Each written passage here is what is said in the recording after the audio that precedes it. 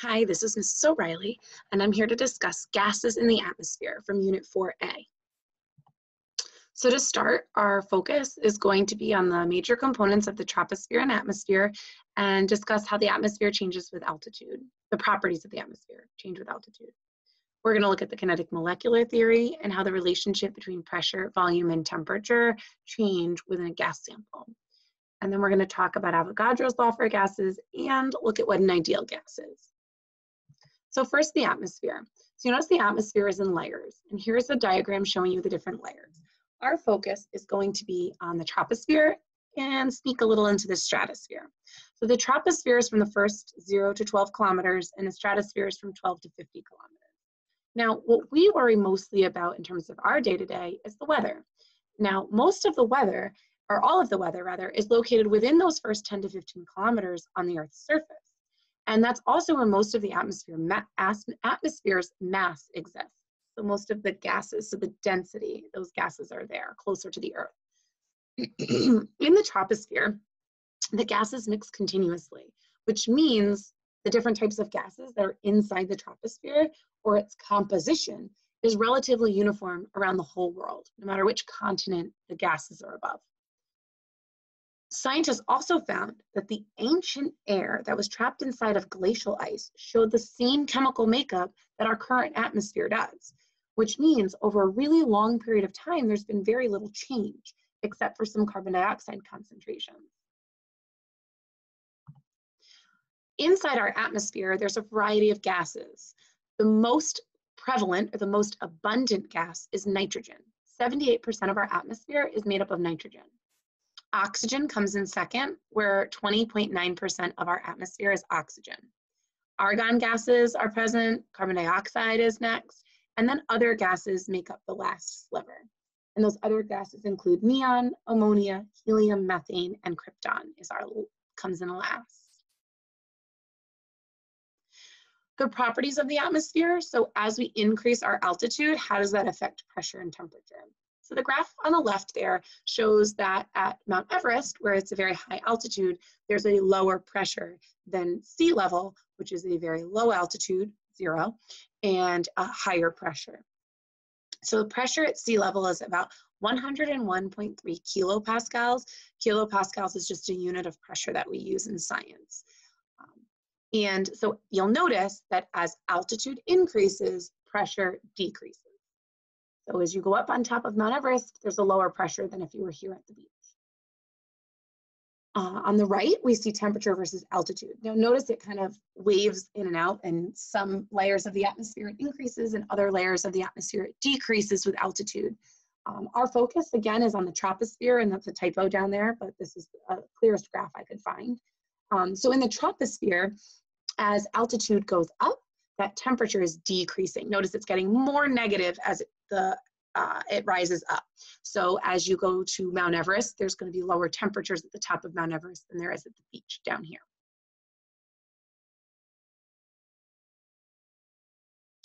So what is pressure that we keep talking about? Well, that refers to the force applied divided by the surface it's applied on.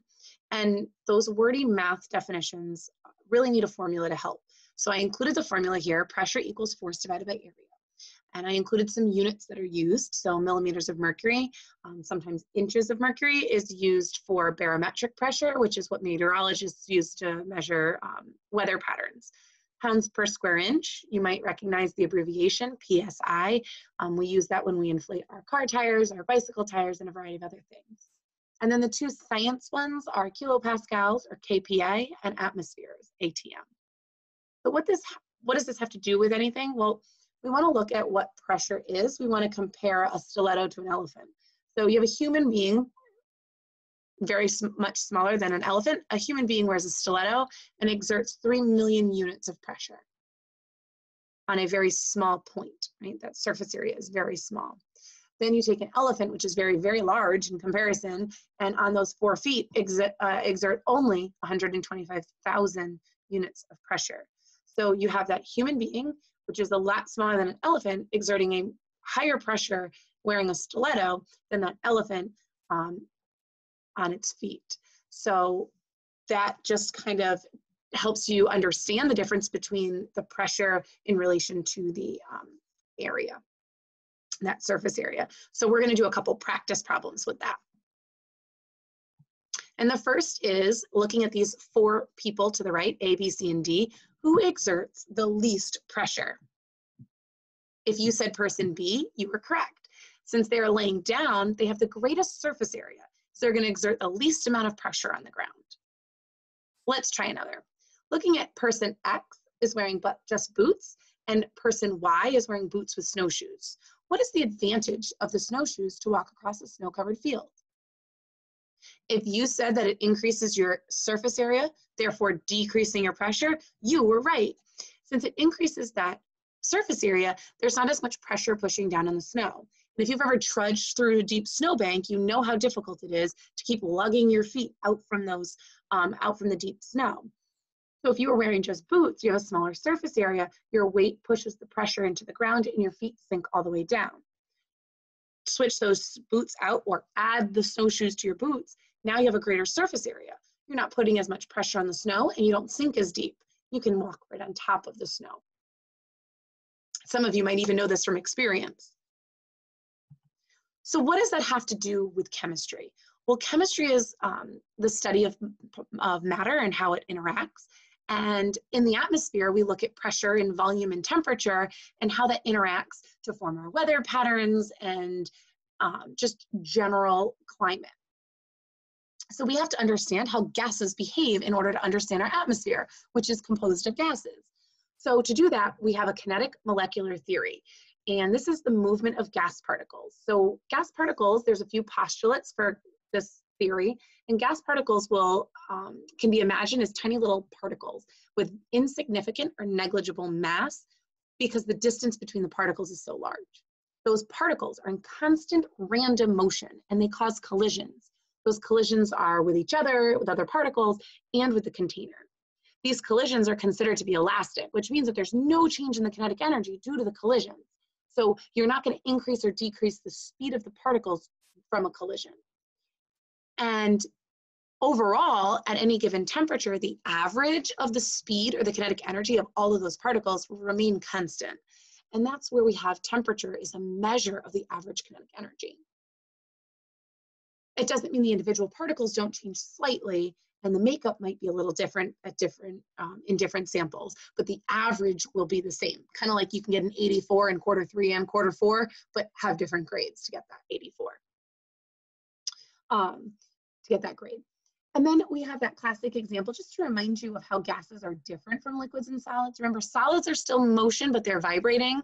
Liquids are in motion, but they're more fluid. They kind of flow and they move a little bit more freely than solids, but gases move erratically. And you can see that the picture of the gas inside this container is exactly, or very close, I should say, very close to this uh, stereotypical picture of kinetic molecular theory. So we have three laws that we're going to talk about. And the first is Boyle's law, and it's going to compare pressure and volume of a gas. These two variables are inversely proportional, which means they behave the opposite of another. So in this example to the right, as the volume gets larger, so as the container is large here, the pressure decreases. And as the volume decreases, the pressure increases. Anytime that there's more collisions, whether it's because the particles are moving faster or there's less space, there's more collisions, there's an increase in pressure. There's, to the left, a picture of a bunch of real world examples for Boyle's law, where pressure volume relationship really makes a difference. The next law is Charles's law, which compares temperature and volume. These variables are directly proportional, which means they behave the same as each other. So at a lower temperature, there's a small volume. At a higher temperature, there's a large volume. And the reason for that is those particles are moving so fast that they force the container to be to expand. And when they slow down, allows that container to contract, compress. And again, there's some examples for Charles's law right there. Notice that lungs were on both. Think about the gases we breathe and ex exhale inside of our lungs, and notice that the temperature, pressure, and volume would all matter in our lungs. So it makes sense that it's an example for both. And the last law is Gay-Lussac's law, which compares pressure to temperature. Again, these are directly proportional and they behave the same as one another. So at low temperatures, there's low pressure. There's the particles are moving slower and there's fewer collisions. At higher temperatures, there's higher pressure. Notice the additional arrows on that side of the diagram. Those particles are moving faster at a higher temperature and colliding more often, making that pressure go up. And again, there's a few real world examples to the left there. A pressure cooker is like an Instapot. Some of you might have them at home. Ideal gases behave as the kinetic molecular theory predicts. So it's said that a gas sample that behaves under all conditions as, a, as the kinetic molecular theory predicts is considered an ideal gas. Most gases behave very closely to an ideal gas, but in some cases, real gases do not behave ideally, and that's when they're under extreme conditions, like at extremely high pressures or very low temperatures. And the, the diagram to the right shows a comparison of an ideal versus a real gas. So the ideal gases in these relationships have no volume, there's no attraction between the particles, and they follow all gas laws, or they follow the gas laws at all pressures and temperatures. But a real gas truly does have volume and it truly does have molecular attractions. Those particles are attracted to one another. But they only differ in their behavior at those low temperatures and high pressures. And last, we're going to talk about Avogadro's law. Avogadro's law has to do with the number of molecules that exist. So remember Avogadro, who introduced us to the mole? Well, that fun fact comes back again. Remember, a mole is 6.02 times 10 to the 23rd particles. And if you have that many particles of any gas, it doesn't matter what gas you have, but if you have that many particles of any gas and you're at a standard temperature and pressure, the volume of that sample will be 22.4 liters, always. And this picture shows that. The sample of helium, xenon, and methane all have a mole of gas at STP, and it's 22.4 liters in volume. That STP stands for standard temperature and pressure which is zero degrees Celsius and about one atmosphere. So let's review. In the atmosphere, you have the troposphere, which is directly above the Earth's surface, going from about 0 to 12 kilometers above the surface. The weather occurs within the first 10 to 15 kilometers above the Earth's surface, so that includes the troposphere and a little of the stratosphere. As atmosphere or as altitude increases, the atmospheric pressure will decrease. Within the troposphere, as altitude increases, the temperature will also decrease. For the kinetic molecular theory, we talked about how gas particles have negligible mass and are in constant random motion with elastic collisions. Boyle's law taught us that as pressure increases, volume decreases. Charles's law taught us that as temperature increases, volume increases. And Gay-Lussac's law taught us that as temperature increases, pressure increases um, Avogadro's law told us that all gas samples at standard temperature and pressure have a volume of 22.4 liters for every one mole. And gases will act like ideal gases except under extreme conditions. So I hope this video really helped you. Um, feel free to send me some questions through Google Classroom or email, and I'd be happy to answer them. And I hope you all have a really fantastic week. Bye now.